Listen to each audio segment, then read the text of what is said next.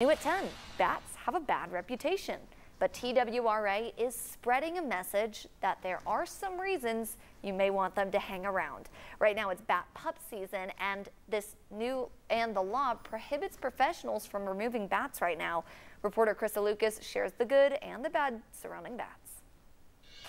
Jim Weber from East Tennessee guards his home especially from uninvited visitors. My son was staying in our house this spring, watched my dog over the weekend. He goes, we got back, he goes, you guys have bats. He hired a professional. They eventually could get in inside the house and then we'd have a real mess with the bats because they bring disease. Um, the bat guano uh, smells. The professional's hands are tied during bat pup season. We have to follow all state and federal guidelines when it comes to the bats.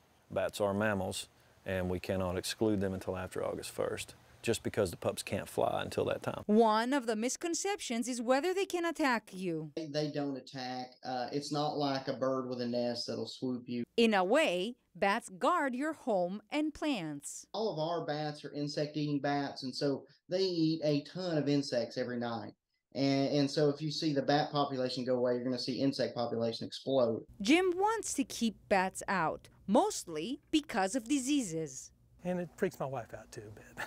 he says look for the signs. Just be aware around your house, look for the droppings. Jim's bats are only in the exterior. It could do a lot of damage to your house too if you don't take care of them. So we want to make sure our house is cleared of bats. He will let his guard down when they're gone.